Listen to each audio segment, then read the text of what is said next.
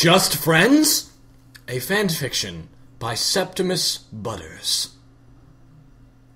The scent of strong methane echoed through the trees. Bow-legged birds and dumpy squirrels heaved themselves across the bracken, making a crunching noise akin to the combine harvester. This was the song of nature. In the center of this beautiful vista was a small clearing bubbling with old mud, and the sound of frogs dying on tree stumps. In this clearing stood a squat shack, and in the shack lived an utter Casanova. Shrek McDonbar was a love machine. Ladies and men from all over the land would try to court the dreamboat Daspigal, but the Scotsmen always managed to slip their fingers, whispering a soft "Okay" as he melted into the night.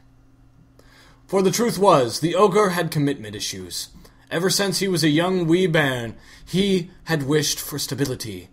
But, being a contrary guy, he couldn't bring himself to give up the single life.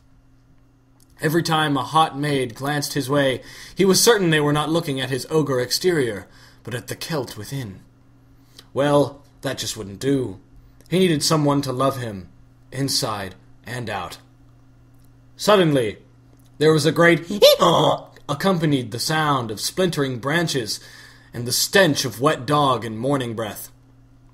A grotty, obnoxious beast of burden crashed through Shrek's rotten door. Braying and kicking as he went, the senseless ass was causing havoc, giving Shrek a headache and laying waste to his home. Shrek seized the half-witted homewrecker in a stinky, hairy, lime-green hand. Oi, donkey! The harassed Highlander cried. What in the name of neeps and tatties are you doing in my swamp? Donkey flashed the ornery, overweight ogre a winning smile, his oversized gnashers gleaming like decrepit Washington monuments in the warm light of Shrek's earwax candle. Sorry, Shrek, the naughty Nettie rasped in a thick Brooklyn accent. I just thought that this was a pit toilet. Shrek smelt the dung before he saw it. You didn't, eh? he cried, eyeing up with pure horror the huge pile of donkey's dung on his bed. You rascal! Shrek grabbed the lacrosse racket from the floor and brandished it at the uncivilized jackass. Sorry, sorry, mate! Donkey bellowed, squatting mani- man- uh, maniacally? Manically. Maniacally. Manic. Hmm. Are those two different words, or is this a typo? Find out tonight at 11. Manically, in an effort to calm the ogre down. Shrek backed Donkey into a corner, his nose several meters into the stratosphere. Donkey was suddenly extremely aroused by this violent display of passion, despite the fact that he knew his days were numbered and his best friend was going to club him to death. His Bermuda shorts ripped violently across his crotch, giving his soulmate turned attacker a good view of his bewhiskered genitalia. Ah, I kinda knew! Shrek shrieked, dropping the lacrosse stick, which would bounced into the fireplace and burst into flames. Donkey sat down in relief, yodeling mindless jams. Stop your singing, you wee idiot! You pooed on me bed! Shrek wailed, his Bromdonagian tubers flailing in all directions. And for God's sake, put your trousers on! Secretly, Donkey didn't want to put his trousers back on. He wanted to lift up Shrek's fine traditional kilt and see his family jewels running wild and free. Uh, Shrek, Donkey murmured, gazing wistfully at his skirt of the north.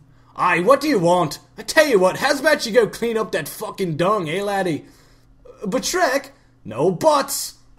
Donkey shuffled off into Shrek's bedroom with a sauce with a scorer and a bucket of mud. With a scour? I think that's supposed to be scour. Mmm. More on this at eleven.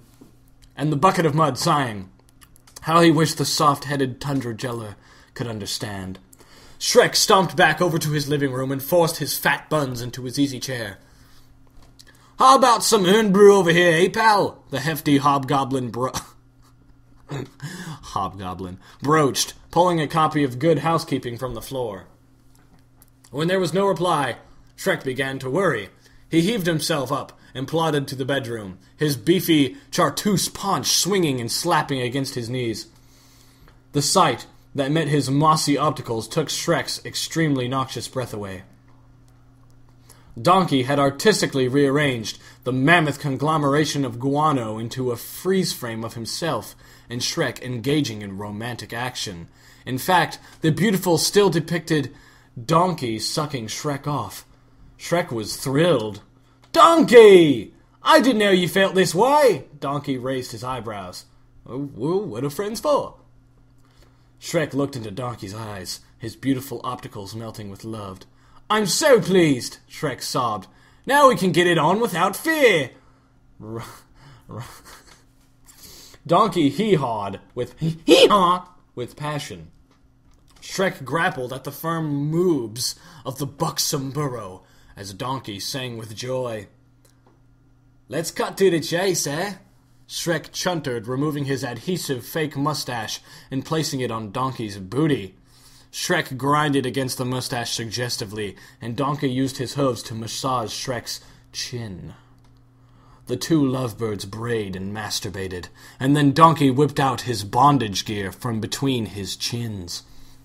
Hooray! shouted Shrek, whipping the sassy mule ecstatically. A tremendous odor of fried pie blasted through Shrek's house, and the sound of boilers quaking echoed throughout the condo. Aye, aye, aye, haggis! Shrek broached bombastically as Donkey spanked him to within an inch of his life. The sight of his lifelong companion dressed in a bondage bib and looking like a horny dominatrix made Shrek dribble and gurn passionately. Donkey found this an earth-shaking turn-on and proceeded to swing his nads to the beat of his heart. They were just proceeding to the final act when there was a sound of clacking joints from the door. The two foul whores turned, pegs agape, spit running from their chins to see Pinocchio standing in the doorway. Ah, you wooden queer! What you think you're doing? Shrek inquit, hastily removing his hands from Donkey's perspiring breasts. Pinocchio gaped, woodworm falling from his mouth. Donkey sat up, gyrating strongly against Shrek's cheap knickers. Turned on, are you? He broached, winking squiffily. Uh, no! Pinocchio squawked. Before their very eyes, Pinocchio's nose rocketed to the length of a huge train. It zoomed across the room, shattering the wall and narrowly missing Shrek's chin. Get it? Because, see, every time Pinocchio lies, you know, his nose grows. And the bigger the lie, the bigger the grow. So when Donkey asked him if he was aroused, and Pinocchio said no, and his nose grew really long, that truly means that Pinocchio is so aroused that if you were to choke his stiff wooden shaft, splinters would explode from all over his member onto your tender lips. Anyways, uh, uh, oh, wailed Shrek. His dung-crafted home crumbled into dust. Oh, uh, sorry. As these words left the ma- left the mouth of the virginal, virginal, virgin, vi- vir- hmm. I'll get back to you on that one. Shrek was reminded strongly of his partner, Donkey, the sexy burro that had only minutes before been pleasuring his entire soul. He suddenly felt a surge of attraction for the loser puppet, not least due to his impressive nasal boner. Aye, laddie, why don't you join us? Shrek roared, snapping Pinocchio's extended nose in half to make it more manageable. What a douche. I cannot imagine how much that would hurt. Pinocchio was so delighted he was sick. Ripping off his dirndl, the chunky wannabe dove into Shrek's bed and joined the party. The foul ogre, the cosmopolitan mod, and the wishy-washy bumpkin puppet grinded late into the night. Their trio of pleasure lasted many years, until on passionate night the flames of lust engulfed Pinocchio and burnt him to a crisp. The two broken-hearted lovers laughed themselves to the grave. Their souls were taken up to the heavens, where they remained as a trio of stars for all time. The constellation is known today as the Chin of Love. You just have to believe.